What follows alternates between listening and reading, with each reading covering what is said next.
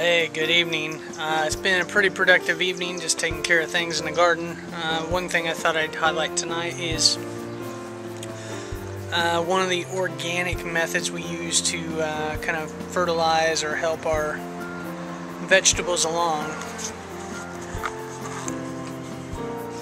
Kind of highlighted this in another video, but um, what I'm making now is, um, or well, I'm making um, smoothies out of the uh, tops of the carrots that we are in the middle of processing.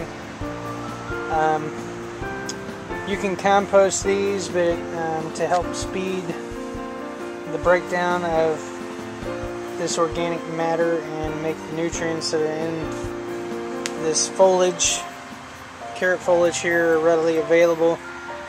Uh, I've got a, I think, $15, $16 blender and what I'm doing is just uh, shredding carrots, but uh,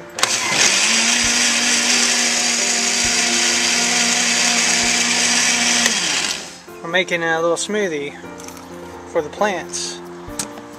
So whether um, you know I let the microorganisms break this stuff down or whether I break it down, it doesn't matter as long as it gets broken down. And again, this will just kind of speed things up it'd be kind of like a slow release fertilizer because I get a little three gallon kitty litter pail use kitty litter pail to mix things in. But anyway I um, make about three gallons of this however I need.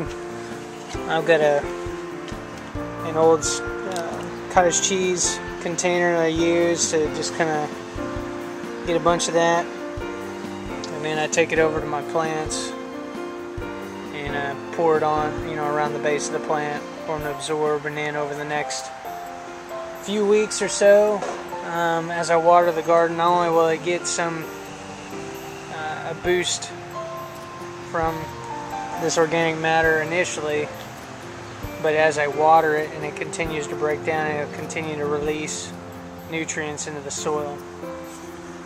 I don't know carrot tops. I mean, you can use about anything, but uh, carrots thought would be good. I mean, there's a book out that says Carrots Love. I think the title is Carrots Love Tomatoes. It's about companion planting. So I figured, well, we'll try carrot tops. See if our tomatoes like carrot tops. So I'm using the carrot tops. I'm also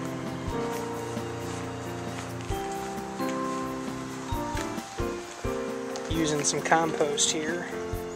This is pretty much ready to go. I mean, it's chunks.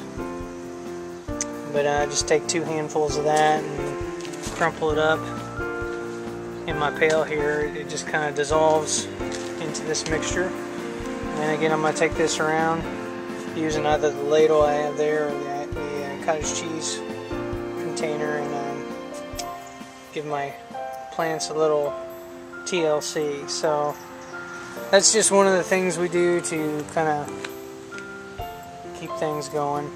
So uh, I guess that's it.